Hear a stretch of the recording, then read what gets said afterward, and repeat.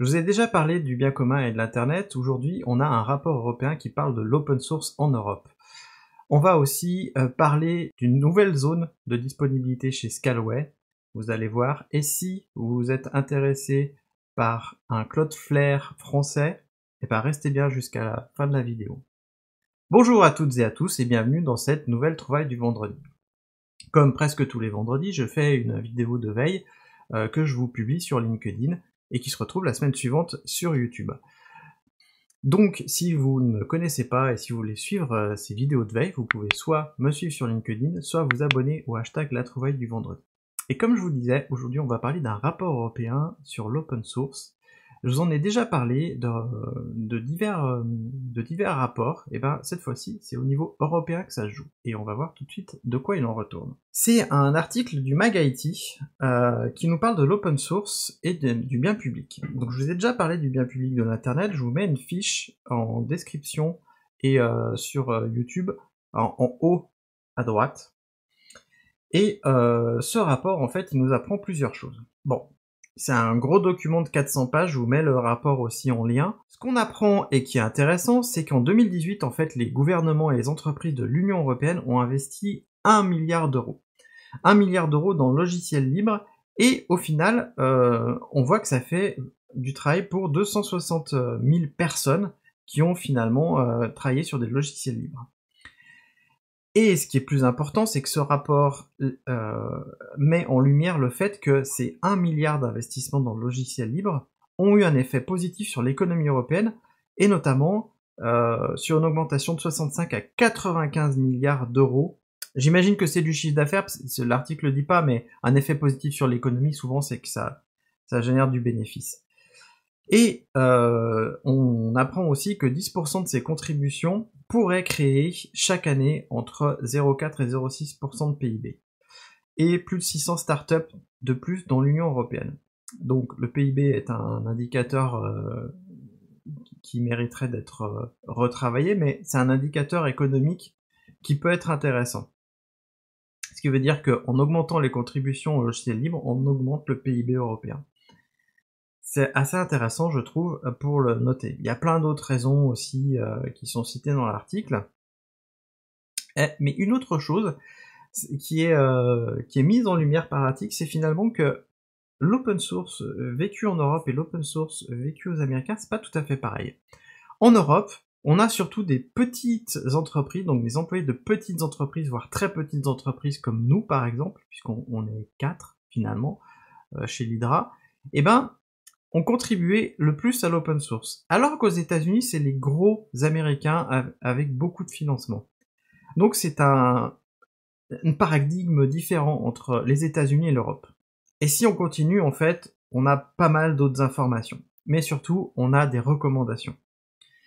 Euh, je le passe un peu vite parce que j'ai essayé d'extraire les choses intéressantes de cet article-là, tout en vous encourageant à les lire intégralement. Hein je vous spoil un petit peu l'article, mais il y a une trentaine de recommandations qui sont faites, et notamment la première qui finalement euh, vise à promouvoir l'autonomie numérique et la souveraineté technologique via l'open source. Alors, je suis parfaitement d'accord avec ça, et nous, c'est ce qu'on prône depuis longtemps, c'est on pense que l'open source et le libre est un levier essentiel à la souveraineté économique et technologique de tous les États, quelle que soit leur position. L'autre piste, ce serait évidemment de créer des budgets pour créer des réseaux de financement au niveau européen. Euh, ça, ce serait vraiment bien. Et surtout, il y a une piste aussi, euh, c'est de faire des, réformes fiscales pour que finalement les contributions à l'open source soient vues comme des dons de bienfaisance, parce que les dons de bienfaisance ont des, euh, des exonérations fiscales, et finalement, pourquoi pas exonérer fiscalement les dons à l'open source. Ça, ce sont des choses qui peuvent être intéressantes pour les sociétés. Donc moi je vous encourage à aller lire cet article, et puisqu'on est finalement dans l'open source, le libre et euh, finalement l'Europe, on a appris euh, bah, cette semaine que la France allait ouvrir le code source de France Connect. France Connect c'est euh, bah, un SSO, un, portail d'authentification unique pour les services de l'État et les services publics. Donc je vous laisse aller lire cet article. Ce qu'on apprend aussi via un tweet d'Amélie de Montchalin, c'est qu'elle voudrait euh, renforcer l'open source dans les administrations et ouvrir en novembre donc le code source de France Connect. Donc on verra en novembre. Dans deux mois si le code source est ouvert, mais surtout ce qui est intéressant aussi c'est qu'elle veut renforcer l'open source dans les administrations. Donc probablement un plan de financement. C'est une affaire à suivre. Je vous laisse aller lire cet article. Et en bonus aujourd'hui, on va parler de Scalway. Oui, je sais, on va parler de Scalway. Donc, Scalway annonce une troisième zone Paris. Donc, Paris, du coup, euh, a trois zones de disponibilité, donc 3 à Z, euh, avec des zones différentes. Donc, une zone standard, qui est Paris 1, une zone à haute efficacité environnementale, qui est Paris 2, et une zone de haute sécurité, qui est Paris 3. Parce qu'en fait, Paris 3, par 3, est ouvert dans l'abri anti-atomique. Donc on sait que Scalway ont un abri anti-atomique dans lequel ils ont mis leur service C14 et donc là ils ont mis des instances et dans ce nouveau data center, ce qui fait que il y a maintenant trois zones de disponibilité à Paris et euh, ça ça annonce un article de blog euh, où il où il euh, du coup explique comment ils veulent construire euh, une infrastructure résiliente pour euh, leur data center.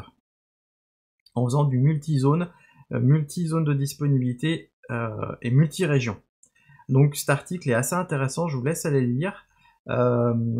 puisque notamment il parle, donc j'ai trouvé ce graphique très intéressant sur comment est-ce qu'on améliore finalement notre infrastructure en passant à chaque fois une, une étape. Et on a notamment euh, la carte des zones qui sont prévues. Euh, et aujourd'hui, Paris est le premier à avoir trois zones. Et il y a une extension finalement qui va avoir lieu sur les autres, euh, les autres zones géographiques de Scalway. Alors attention, parce que là je suis sur ma console, quand on est dans une zone de disponibilité, les prix ne sont pas les mêmes. Paris 1, euh, donc si je prends l'instance euh, classique, euh, si vous voulez faire de la production, la GP1XS, elle est à 0,84 euros de l'heure.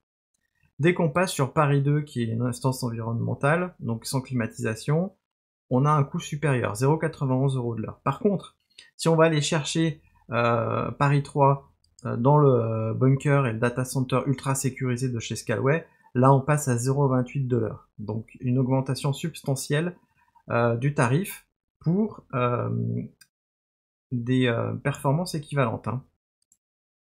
Comme on les voit, hein, c'est exactement les mêmes performances, même bande passante, etc. Par contre, le prix est différent. Donc, ça s'adresse à des euh,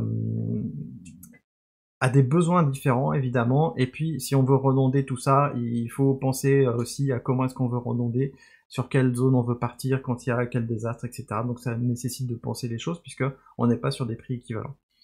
Euh, ça c'est pareil euh, chez tout un tas de fournisseurs euh, cloud, il y a des prix parfois différents en fonction de l'avancée technologique des data centers. Je vous l'avais promis, et si on avait un euh, Cloudflare à la française, eh ben j'ai appris sur Twitter que ça existait, puisque Baline, ou Baleine, je vais dire Baleine, hein, puisque Baleine, leur logo c'est une belle baleine, Baleine est un produit euh, d'une filiale de Cdiscount. Cdiscount, elle-même filiale de Casino, un grand groupe de grande distribution. Euh, c'est un produit qui euh, vise la sécurité des sites internet et des applications web. Donc euh, je vous mets le lien en description. Mais surtout, c'est quoi Baleine? Alors, Baleine, c'est de la protection des DOS, donc l'attaque de, par de service. C'est aussi un Content Delivery Network, donc de quoi déplacer finalement vos, vos médias sur tout un tas de points qui sont plus près des utilisateurs pour améliorer finalement les pages de chargement de vos applications. Et du coup, euh, leur modèle en fait c'est de l'apprentissage automatique. Euh, donc finalement, il y a de l'IA là derrière euh, pour pouvoir financer ça. Donc je vous laisse aller voir le site. Après nous, on n'utilise pas de, de CDN, mais pour les gros sites et très gros sites, c'est quelque chose d'intéressant et je trouve qu'avoir des, solutions françaises euh, pour viser le marché francophone ou européen, c'est quand même assez intéressant pour être autonome. Tout ce que j'avais à vous dire aujourd'hui. Euh, ben, j'espère que ça vous a plu ces petites trouvailles. Dites-moi euh, en commentaire, répondez-moi, dites-moi si ça vous plaît.